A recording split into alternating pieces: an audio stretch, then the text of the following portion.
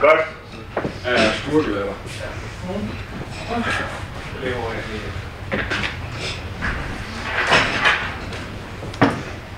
Jeg håber, I er frisk om på en god weekend. Det jeg vil, jeg vil, øh, inden vi går i gang med modellerne, som jeg har lagt ud for i dag, så kommer jeg til at tænke på, hvordan hen. I har jo Project Review 1 næste uge. Så det vil jeg godt lige bruge 25 minutter på. Det første kvarter, lige sæt jer sammen to-tre stykker, fordi I får nogle screencasts. Og det vil så sige, at jeg gerne vil have jer til at forholde jer til. I har tre forskellige til i dag. Så jeg vil gerne have to-tre kommentarer til hver af dem. Som den ene del af det. Og så jeg have, at I samtidig siger, hvilke forudsætninger, eller hvad er det, det betyder for jer og jeres øh, måde at studere på. Det kunne være interessant. Fordi det har jo nogle konsekvenser, og jeg har gjort mig nogle tanker, men det kan det være, at I har gjort jer nogle fuldstændig andre tanker med hensyn til, hvordan det skal gribes an. Så det første kvarter, jeg vil gerne have, at I lige sætter jer sammen, de der bare to-tre stykker, og der er der, der. Du skal lige finde en. Og så lige diskutere de to spørgsmål. Et, to, tre kommentarer til hver af de tre forskellige. Fordi det er tre forskellige. Og det kunne være interessant at høre, hvordan I ser på dem. To, to, tre kommentarer med hensyn til, hvad betyder det i forhold til jeres måde at studere på. Det er så på net. Så må I gerne mail den til mig, og så prøver jeg at samle det. Vi tager selvfølgelig lige og snakker. Men I sidder i et kvarter, så mailer I til mig, hvad I har på, på de spørgsmål. Og øh, så tager vi lige et snak med hensyn til, hvordan jeg tror, det vil være, jeg mener, det vil være en god approach til jeres Project Review 1. Og så derefter, så tager vi lige en 5 minutters pause, og så går vi i gang med de modeller, som øh, jeg har lagt ud til i dag. Okay? Så du finder lige ved om og finder en, og ellers så et kvarter fra nu. Er I med på, hvad I skal? Et, to, tre kommentarer til hver af de tre forskellige screencasts, der ligger. Der ligger to fra YouTube, så ligger det en fra mig. Pros, cons. Og så spørgsmål nummer to, eller fire, som afhænger af, hvordan I vender det. Hvad betyder det for jeres måde at være studerende på? Hvad betyder det? Generelt indhold eller? Jamen, hvad betyder det? Altså, det kunne jo indholdet. Okay, ja. Altså, men, jamen det kan være noget helt andet, som I synes, er, hvad I synes, der er relevant at kommentere på. Indhold, kadencen, lydniveauet, øh, den der måde, det bliver præsenteret på med en person og så noget andet. Altså toren, den har sådan en person. Så alle de der forskellige tanker, som den ene tilgang og den anden der, hvad betyder det for jer i forhold til studieteknik? Og det kunne jo være relevant at komme med lidt indspark der også i forhold til Project Review, men det tager vi efter et kvarter. Så kvarter. Kan vi finde, kan vi finde de spørgsmål? Nej. Nu er nogle, jeg kommer i tanke om på vej herind. Men jeg kan da godt lige skrive dem op. Du må... Ja.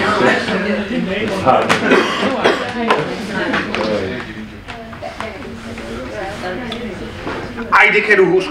Det kan du godt huske. To-tre kommentarer til hver af de tre screencasts.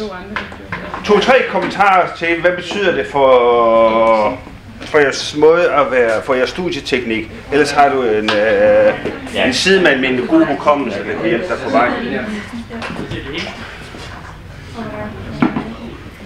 Spørgsmål nummer et. Har du set det? ja, det, er det. Ellers er du lidt, så, så er det lidt op ad bakke med den marker der. Jeg har det. Kan jeg ikke komme på her?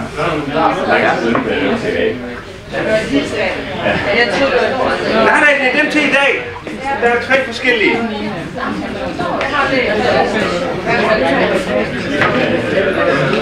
Okay, har du set? Ja. Sådan. Yes. Så har vi... øh, Okay, den ene handler om selv, og den anden handler om... øh, generelt. Fuldstændig. Ja, den gør forskellige ting. Ja, den ikke også?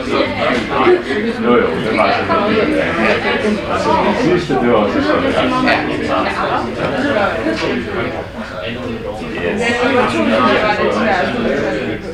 Ja, den der... Øh, jeg har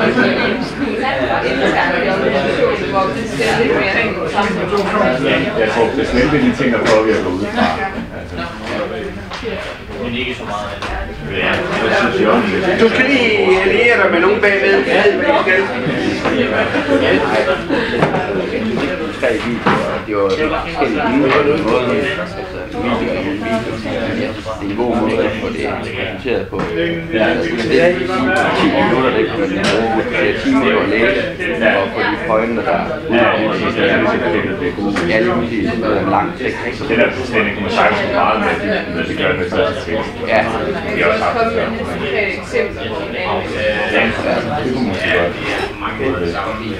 Jeg synes egentlig, det gode ved toeren, det var, at det var meget fint, man kunne se. ja. Jeg ved ikke, jeg ikke, om man kan se andre snakke. Jeg synes bare, at jeg var ikke særlig god til at bruge stikord og bare Jeg bare ikke se, hvor man bare er Nej. Ej, det er ikke så meget. Jeg synes ikke, der kom sådan et, der kom der sådan en tekst, der skiftede i gang. Det var meget, meget, ja, det var meget det var godt. Nævne Ja, jeg skrive et eller andet?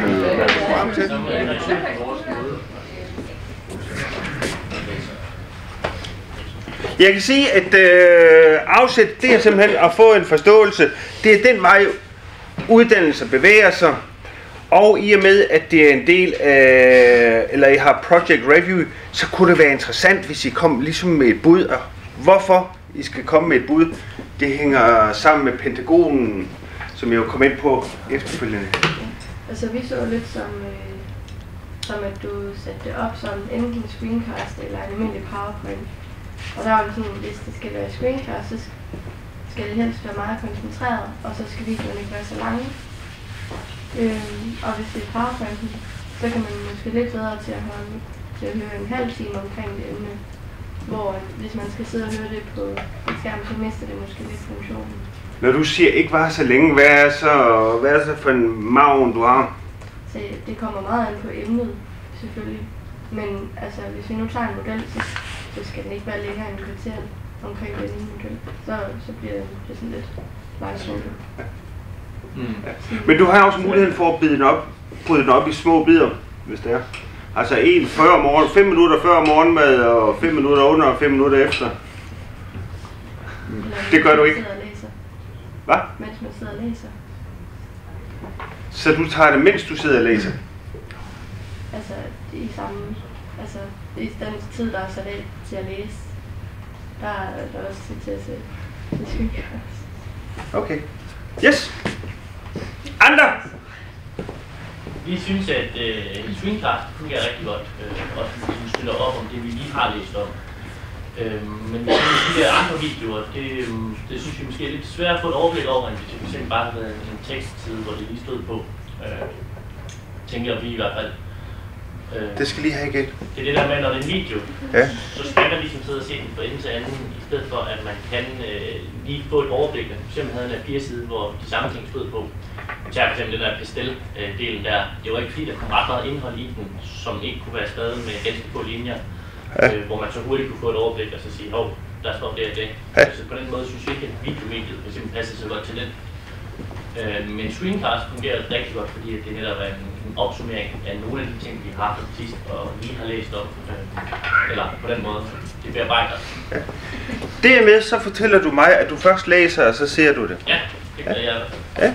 Det er ikke, s- gør I alle sammen det? Nej.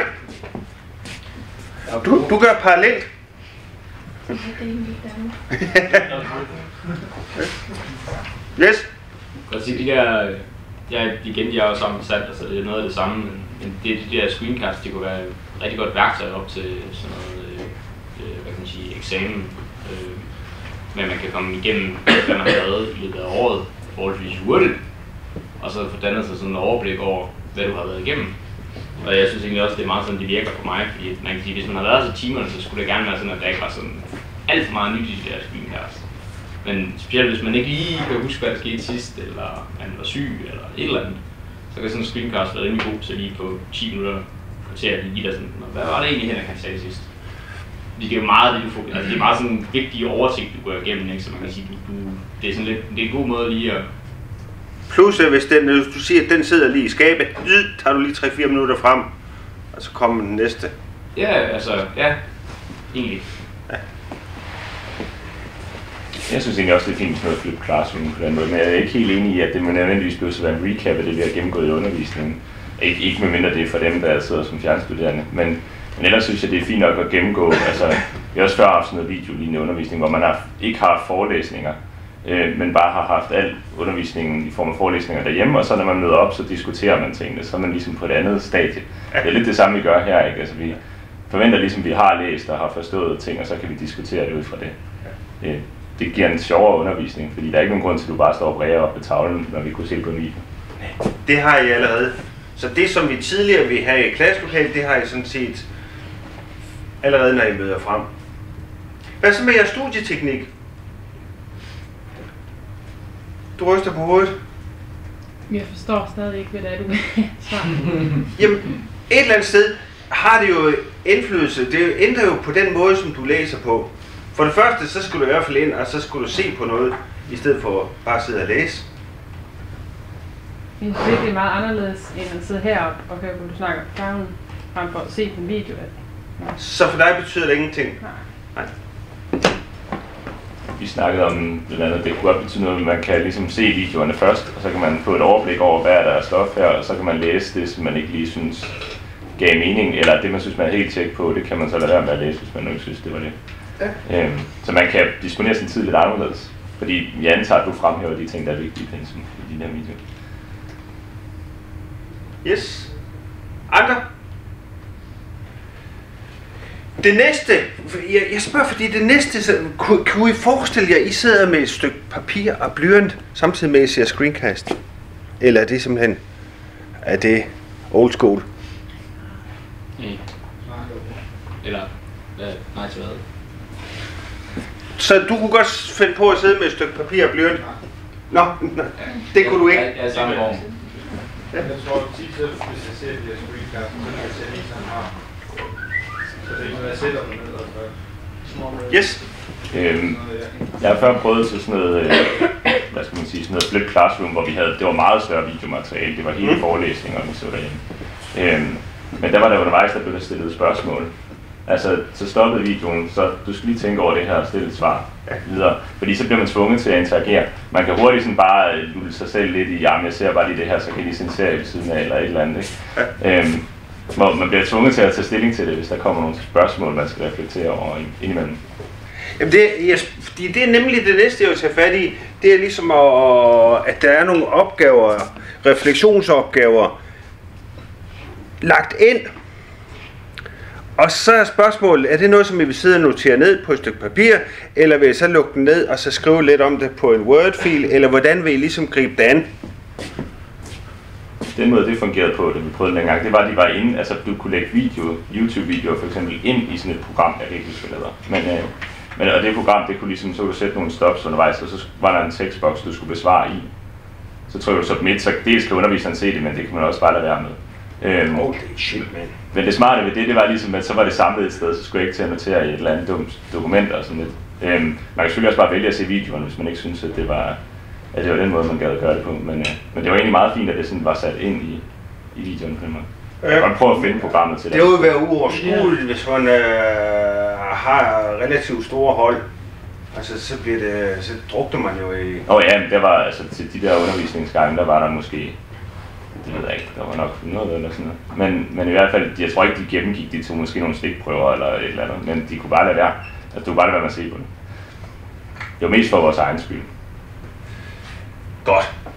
Konkret, hvis jeg skal lægge et spørgsmål ind, som I skal reflektere over, hvordan I vil gribe det. Et, så siger jeg der på starten, så kan jeg godt gå ind og så efterfølgende sige, nu kommer de og de spørgsmål, så I ved, at der kommer nogle spørgsmål undervejs. Så er jeg ligesom forberedt, og så kan jeg så sige, okay, time out. Prøv lige at bruge x antal minutter på det her spørgsmål. Hvordan vil I så gribe det an? De vil bare pause videoen. Det er jo det medie, du kan. Ja, og hvad vil du så gøre? Vil du notere noget ned, eller vil du... Altså, hvis jeg beder om at notere ned nogle hovedpunkter, hvordan vil du så notere dem ned? Altså, hvad vil være... Det kommer an på, hvad du lægger op til. Okay. Hvis der har jo været, hvor der skulle sendes en mail, der har været, Ja. men det kommer bare an på, hvad der bliver lagt op til. Fordi hvis nu det er noget, man så skulle tage med på klassen, og så diskutere bagefter, Ja. så vil jeg bare notere det i stik stikord til mig selv. Okay. Men det kommer an på, hvad opgave type. Hvad oplæg du får? Ja. Okay. Jeg tror, vi er ret fleksible. Vi, vi er skide dygtige til bare at gøre det, der bliver bedt, altså det, vi bliver bedt om. Og vi kan også det her med, at du spørger ind til vores studieteknik. Jeg tror ikke, vi er så presset over det. Ja. Øh, hvis det var det, du gør det med spørgsmål, så må du så gerne i starten af videoen så sige, nu kommer der 5 minutters spørgsmål undervejs i videoen også, sådan at man ligesom kan planlægge, at selvom videoen var et kvarter, så skal vi afsætte 20 minutter eller 25 minutter. Ja. Yes. Godt. Det var det. Øh, I kan overveje, om I skal flette det her ind i jeres øh, Project Review 1. Den er jo allerede næste uge. Når øh, jeg har folk til eksamener, der er en sensor på, så siger jeg altid, prøv lige at tjekke sensor. Hvad er det, hvad er deres baggrund? Hvad er det, de går op i? Nu er I så heldige, at I ved, at det er Jan, der kommer og ligesom at kommentere. Jamen, så ved I jo sådan set også. Og hvis helt konkret, hvis ellers når I skal til samtaler og så videre, øh, tjek baggrunden på dem, der er der. Om det så er på LinkedIn, eller hvordan I lige finder frem til det. Så I ved, hvad det er for noget, øh, hvor deres force er, hvad de lægger vægt på. Hvad vil Jan lægge vægt på? Metode. Ja!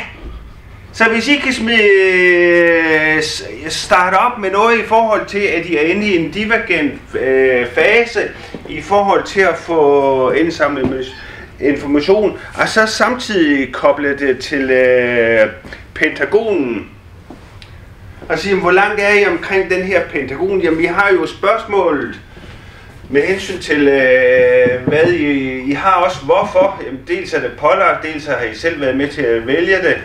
Øh, og så kan I virkelig bruge lidt tid med hensyn til øh, metoder. Hvad er det for nogle modeller og teorier, som I indtil nu har fået øh, blevet præsenteret for, som I vil, PT vil inddrage i jeres projekt? I ved, I har ikke været det hele igennem endnu, så der er ligesom stadigvæk noget, der er åbent. Hvordan forestiller I strukturen for jeres opgave? Jeg bad jer på et tidspunkt om, prøv at, prøv at forestille jer, hvad vil indholdsfortegnelsen være for hele opgaven? Så ved man, hvordan fokus er.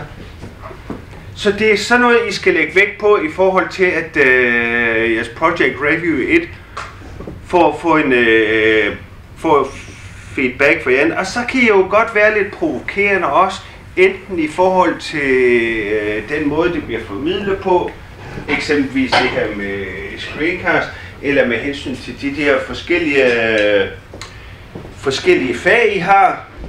Det er jo en udfordring for jer at skulle forholde jer til øh, metode og skulle forholde jer til strategier, forholde jer til organisation og innovation og afsætning, og få sat det i spil i forhold til et konkret projekt, samtidig med, at I kæmper med hensyn til at få styr på projektet og få nogle kontakter, som kan give jer den information, I skal bruge for at arbejde videre med jeres projekt. Det er sådan nogle ting, I skal, skal sætte i spil til jeres Project Review 1. Og så husk i hvert fald, der, i hvert fald virkelig seriøst overveje at sætte Pentagon i spil. Det giver mening til Project Review 1, og det giver især mening, fordi at det er Jan, der ligesom er øh, tilhører. Og når jeg siger, at havde det været Hans, jamen så har jeg sagt, at der skulle være øh, give feedback. Så vil jeg sige, jamen det er noget helt andet, vi skal have fokus på. Så også træne jer selv i at, hvad skal man sige, at tilrettelægge den præstation til, hvem det er, I skal præsentere for. Afæsken deres øh, styrker og svagheder, og husk at gøre det samme, når I skal til øh, samtale i organisation. Hvad organisationen står for? Hvem er det, man skal ind og tale med? Det gør livet noget lidt nemmere. Øh, jo, og så, øh, så egentlig også slutte af med, at øh, hvad er jeres øh, next steps? Hvordan ser I de næste trin i forhold til jeres projekt? Hvis I skal beskrive de næste tre uger, det kunne være frem til Project Review 2, sige, hvad er det, der skal ske frem til den? Det vil være klasse at kunne have et, øh, en tanke med hensyn til, hvordan at tiden skal udfyldes frem til Project Review 2. Og så som prikken over i, så slutter jeg af med at sige, og så har vi de her tre ting, som vi ligesom har diskuteret i gruppen, som vi godt kunne tænke os at få noget feedback. Så er I jo ligesom ført hånd. Så står I ikke bare, hvad skal man sige, så står jeg ikke bare med ryggen mod muren i forhold til, okay, det er jo så vores præstation, hvad har I at sige til det? Men I kan selv gå ind og vælge de områder. Kom med nogle kvalificerede områder, som vi kunne tænke os sige, det her, det går vi og kæmper lidt med. Hvad kan give os feedback på et, to eller tre forskellige områder? Så er det klasse, og så er den hjemme. Og så har I selv kørt showet fra ende til anden. Og det er ofte det, som er udfordringen, det er, at øh, eksaminator og sensor, de skal ikke have en chance. Altså, det er jer, der kører det show, og I kan, hvis I ellers lige tilretlægger det derefter. Så det er det, jeg gerne vil have, at I tager med jeres overvejelser til øh, Project Review 1. Øh, Pentagonen kører den igennem, sæt nogle konkrete modeller på, øh, tænk over med hensyn til øh, det næste frem til Project Review 2. Hvad skal der ske? Hvad mangler I information? Smid noget ind med hensyn til det divergente. Måske smid noget ind omkring øh, Lotte Darsø, eller noget omkring organisationen, eller hvad I nu synes, der er relevant. Og øh, så slut af med nogle konkrete spørgsmål. Sådan rent praktisk, så øh, sørg for, de fleste vil nok lave en PowerPoint. Hvis I laver en PowerPoint, så sørg for, at øh, I har den med to eksemplarer i handouts, sådan at der er en til mig og en til Jan. Således at vi kan se, jamen er der, drejer det sig om 5 eller drejer det sig om 12, som vi vil gå igennem. Pas på med ikke at køre for mange. Og I kender også det der med at passe på med, at PowerPoint det ligesom er hvad skal sige, visuelt til at gå til, at de ikke er for komplekse. Så det skal ikke være for mange, sådan at det hele tiden. Og øh, have dem med som handout, så at vi kan sidde og lave noter efterhånden, som vi går igennem.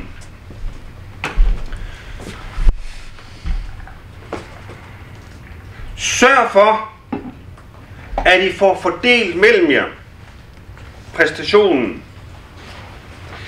Hvis der tænk over det, hvordan det skal være. Hvis, at, øh, lad os sige, der er fire, jamen er det så den, der præsenterer, der skal stå her, og så de tre andre, der skal stå derovre, og hvor man så skiftes. Altså, tænk, tænk den del ind i det, altså, så ikke bare står øh, lige sådan et eller andet første gis langerdans.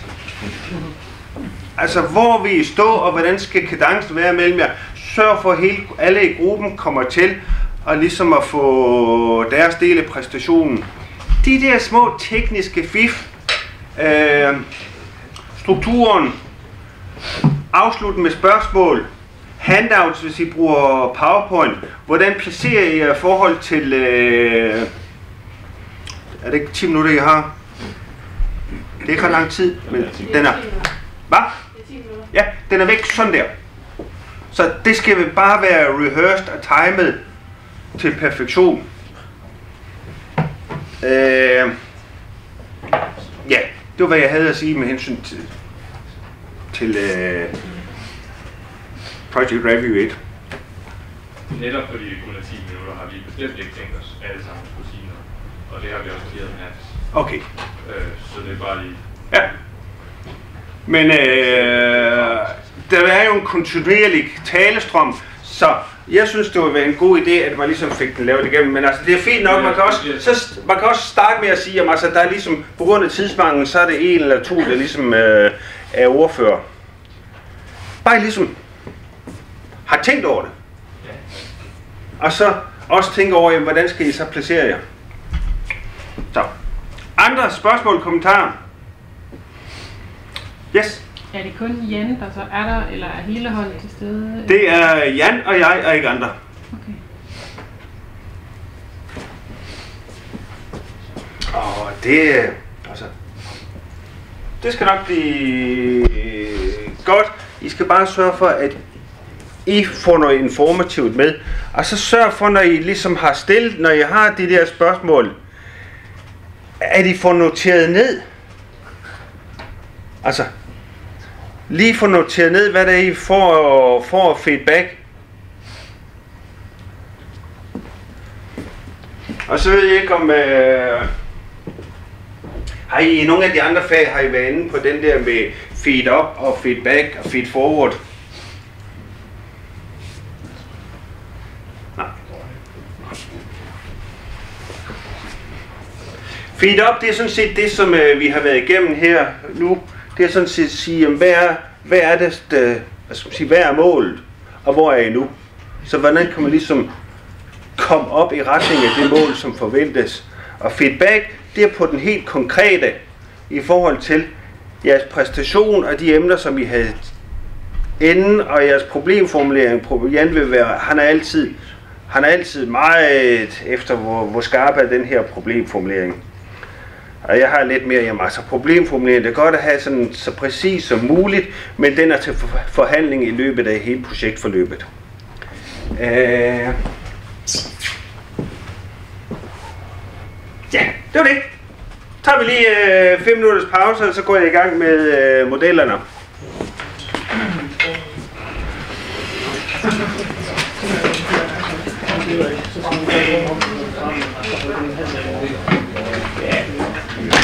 Det ved jeg ikke, jeg vil i hvert fald gerne gå til det. Det? Det en det altid- Ja, hvor det tager 20 år. Altså, det er sådan der. Det er det her, det handler om, at gøre det gang. Og hvis jeg siger, altså, ja, ja, det er ham, der siger det, er ham, der siger det, det er lige meget. Det er det ikke andet, hvis vi ikke tager her, så skal vi arbejde på det selv på et tidspunkt. Ja, lad os, jeg synes, det er fint at bruge tid på det. Måske synes jeg også, at vi kan kan afmelde, at vi Bare snakke der, tror jeg, og sige. Ja, Jeg tænker, Hey, skulle I sende noget til mig, eller hvad skulle vi aftale? Ja. Så møde med Hans. Det er som fortalte, at der var noget. Så i dag, eller? Det gik fint. Vi fik uh, snakket. Det er det der, vi er- Det der snakkede om. Ja, snakket. Så er I velhægtet, når I er færdige i dag. Øh, Han snakker om en, der hedder Carsten Nøkkelby, som er der har set sammen. Som var en gut, som øh, han laver sådan noget øh, som studentarbejde, tror jeg, for, Jamen, det skal også være, I er ligesom er klar. og- Og meget som på sikkerhed. Og også Jeg har øh, et møde i Herning, hvor det faktisk Ja, det er der ikke særlig mange, der kan. Han som var virkelig meget sådan, er der ikke nogen, der kan det der?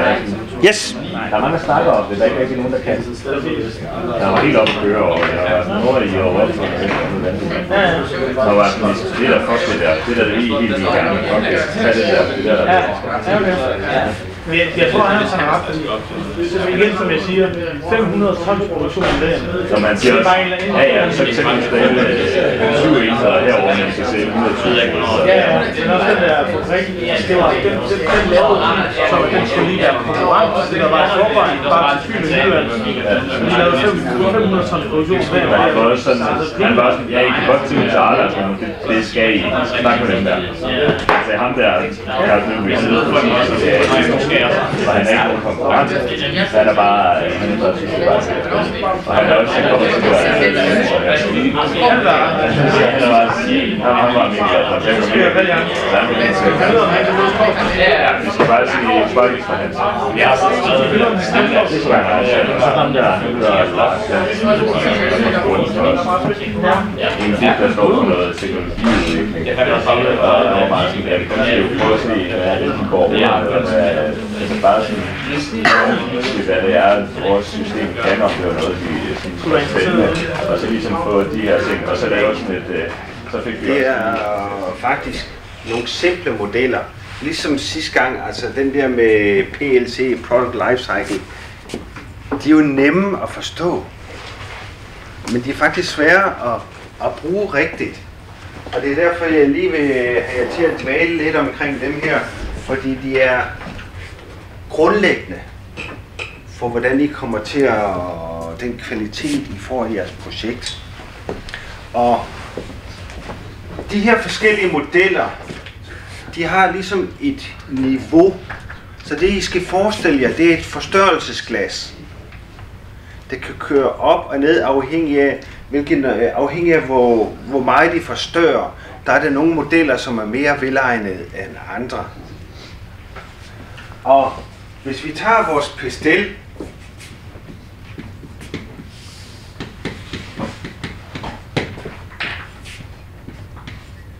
som jeg lige nævnte i screencast, det er jo på makroniveau. Det er den helt, helt overordnede. Hvad sker der i samfundet? Så det er vigtigt, når I skriver, hvis I går ind, uanset hvilken model I bruger, det at bruge modellen, den gør I består.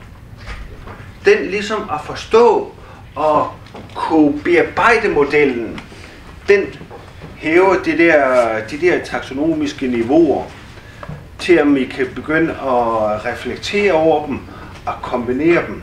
Og det er jo det, som var min, øh, mit ærne til sidst i Screencast, hvor jeg jo sådan prøvede at sige, okay, lad os prøve at kombinere, hvordan kan vi for eksempel kombinere P'erne med øh, Business Model Cube. Fordi der er det, I kommer der op i et niveau, hvor man siger, yes, de, øh, de kan ikke bare copy-paste en model, men de forstår modellen. Så hvis I bruger en pastel, så brug den i starten, for ligesom at sige, hvad er det for et landskab, som vi befinder os i. Og så erkende, at den er sådan på makroniveau. Det vil så sige nationalniveau. Hvad sker der for landet? Man kunne endda sige, måske internationalt, hvis man ender kigge på lovgivningen i EU-sammenhæng, og ikke kun i national dansk kontekst, men i EU, som kunne have indflydelse på det, som jeg arbejder på.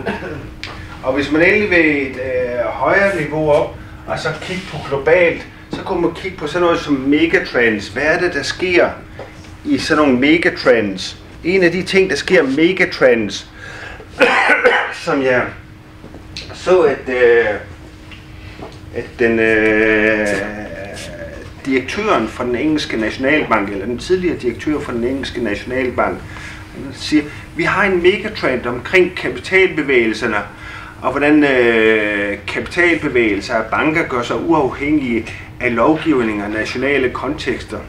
Fordi de bevæger sig i sådan en global kontekst. Og det er det, som kommer til at se med hensyn til, at øh, man har maskiner til at sidde og lave valutahandler. Når et eller andet øh, rammer en vist niveau, jamen, så bliver der lavet nogle transaktioner på x antal millioner, milliarder øh, i et eller andet valuta. Og det er helt vanvittigt, hvad der sker inden for, for sådan noget, for eksempel den finansielle sektor. Så er der sådan noget med innovation, som også er blevet øh, global, hvor man kører den der åben innovation. Så kapitaltransaktioner, innovation, produktion er også nemt at flytte, øh, bliver nemmere og nemmere at flytte fra det ene sted til det andet. Det er sådan de der megatrends, man kunne ind og kigge på. Pestel, det lægger sig lige et niveau under, men på makroniveau. Og hvis I så siger, okay, hvad ligger der så inde under det makroniveau, det overordnede? Jamen det ligger så noget som, øh, man, i nogle sammenhæng så bruger man øh, begrebet mesoniveau. Mesoniveau, det er, kan eksempelvis være en branche.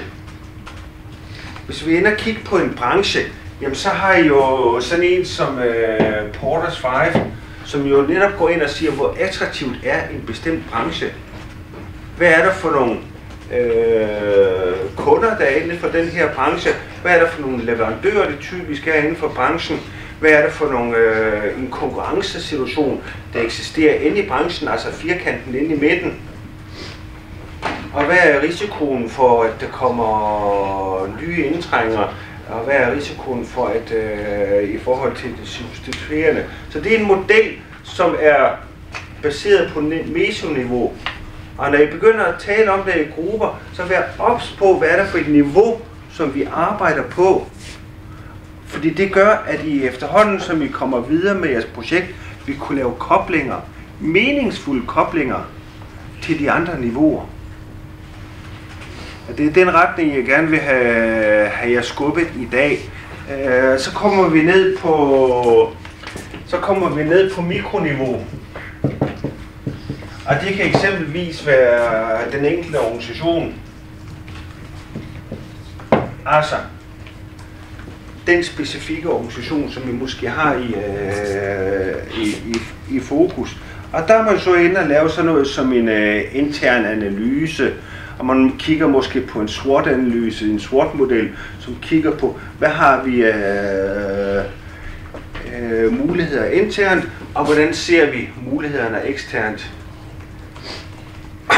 Og der kan, jo, der kan man så begynde at lege med den der med inside out, altså sidder vi inde i organisationen og kigger ud og ser, hvordan mulighederne er, eller stiller vi os uden for organisationen og så kigger, kigger ind og åbner op for, hvad er der for nogle muligheder.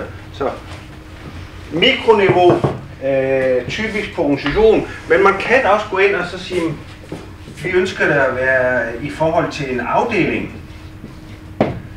Eller hvis det er noget med hensyn til persontyper, så kan man jo gå ned på individer.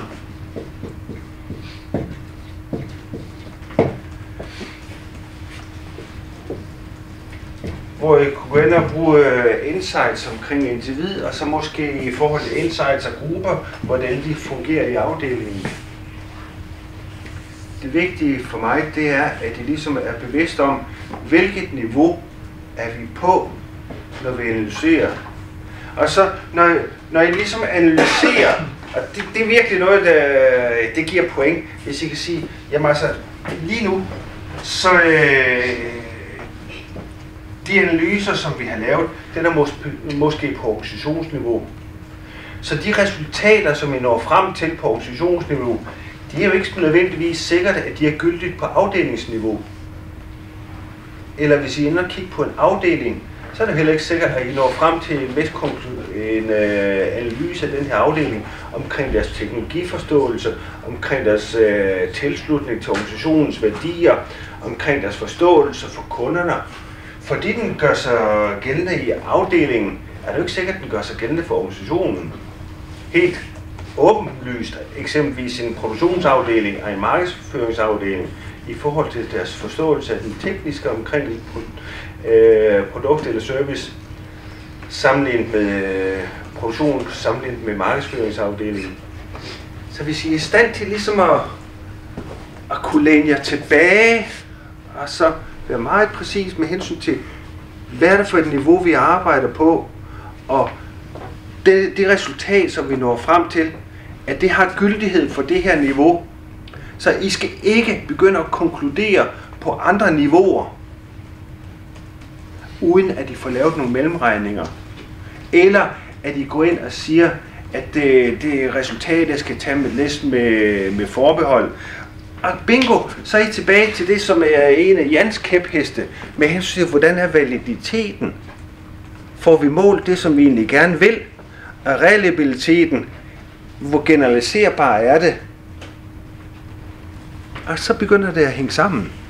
Men det er en udfordring, og det kræver lidt tid at, at lege med det. Og det er derfor, at øh, jeg gerne vil have jer til at starte ud med at lege med en model på makroniveau, og så går vi ned, og så bruger vi en, øh, en model på øh, mesoniveau eller mikroniveau med hensyn til, til de syv P'er.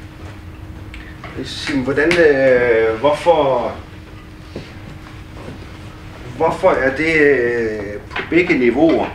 Jamen det er på organisationsniveau, fordi det er de håndtag, som ifølge Kotler en organisation har at dreje på.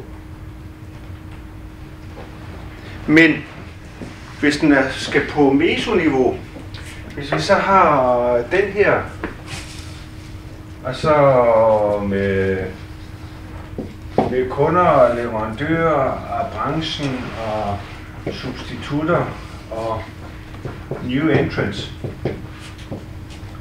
så kan det jo godt være, at det ligesom er en øh, system med hensyn til, hvordan at øh, branchen griber det an med hensyn til de syv P'er. Klassisk eksempel. Hvor mange af jer øh,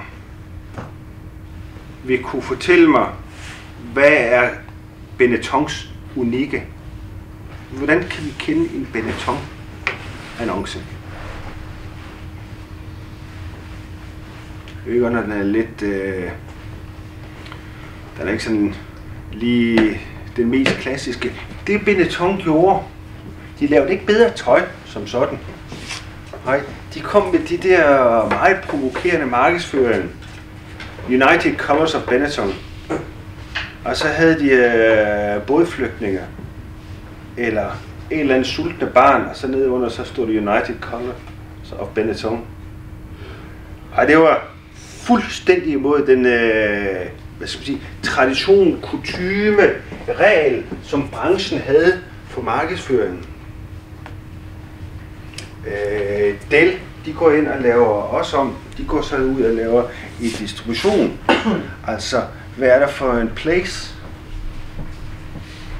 Så der, man kan gå ind og så se, at øh, der er nogen, der ligesom går ind og rocker the boat med hensyn til fuldstændig at lave radikal om på logikken inden for branchen, hvordan noget bliver grebet an.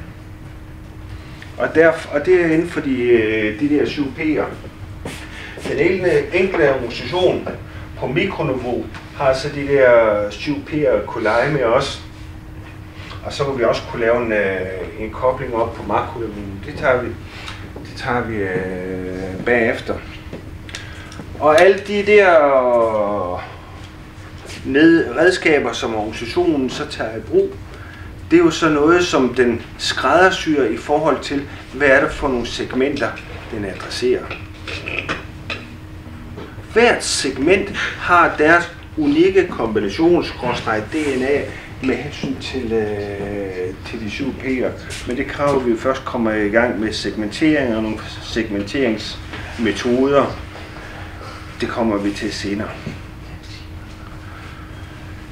Så i første omgang øh, bliver opmærksom på, hvad det er for et niveau. Så når I laver pistelanalysen, så skal I bare, så er det fint nok ligesom at køre igennem, hvad det er. Men altså det, der ligesom hæver forståelsen, det er, at I kan tage en eller to ud og sige, det er de her to, som er afgørende for vores projekt. Og så kunne fortælle, så I ligesom ikke bare laver den der med at køre den igennem, bum. Men siger, den og den, det er ligesom dem, der er afgørende for, for det her projekt. Og forklare, hvorfor de er afgørende. Så det er det, jeg gerne vil have, når I arbejder med pestillen. Dels I snakker lidt omkring niveau, køre den igennem, identificere, hvad det er for nogen, der er afgørende for, for jeres projekt. Hvorfor de er afgørende. Kan fortælle, hvorfor er det, at de her to er afgørende. Det, det får betydning for på sigt, det er jo sådan set, når I kommer videre hen i jeres opgave, lad os sige, I skal lave en strategi, så kan I jo tage, når I skal i gang med strategien, eller laver en SWOT, så siger I, jamen vores prestelanalyse, så identificerer vi det her som det væsentlige. Så hvordan sikrer vi os, at vi er up to date, date informationsmæssigt omkring de her to vigtige områder i forhold til vores projekt? Er det noget, som vi har eksterne aktører til at øh, kigge efter? Er det noget, som vi udpeger en bestemt person eller en gruppe personer til at, at kigge efter? Uh, som eksempel, så var jeg sin tid på besøg hos et firma nede i Horsens, og det som de, det var, de var leverandør til, øh, det, dengang øh, til mobilselskaberne, eller ja, og det var dengang, hvor Nokia stadigvæk var stor på mobiltelefoner. Deres unikke tilgang, det var, at de kunne lave firkantede højtalere. Det var simpelthen deres kernekompetence. Grunden til, at det er jo en kernekompetence er interessant for, øh, for mobilproducenterne, det var, at en firkantet højtaler brugte mindre plads end en rund højtaler. Og der var racet blandt øh, mobilproducenterne, det var at få lavet små, at få lavet mobiltelefonerne mindre. Og derfor var det unikt med firkantede højtalere. De kørte en pastel, og de identificerede, og det var selvfølgelig noget teknisk, og det var så i forhold til audioteknologi, som der var en, der ligesom blev udpeget, hvor han fik lov til at konferencer, whatever, alle de tidsskrifter, det er, det er dit hovedansvarsområde. Den anden, det er jo så inden for noget med hensyn til nogle øh, plastmembraner, fordi de brugte noget specielt plast til at lave de der højtalermembraner. Så den ene, det var sådan en, øh, en markedsudvikling, og den anden i forhold til et bestemt niche, i, som indgik af deres produktion.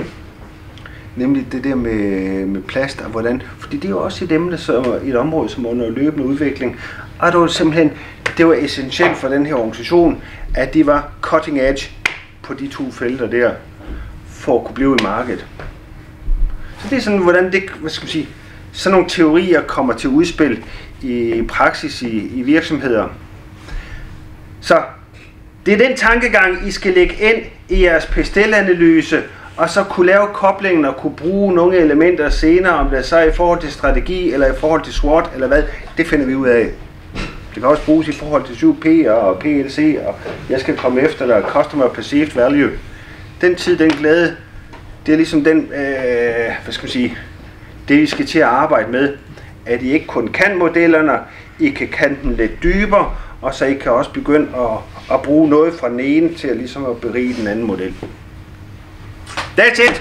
Så øh, brug lige, jeg skal bruge en halv time på en pause, og så kigge Pestelli igennem, identificere hvad der er vigtigt, øh, køre den hele igennem, identificere hvilke områder der er vigtigt, hvorfor de er vigtigt, og hvordan I eventuelt vil kunne sikre den videre overvågning, bevågning øh, af det her område, internt, eksternt i organisationen.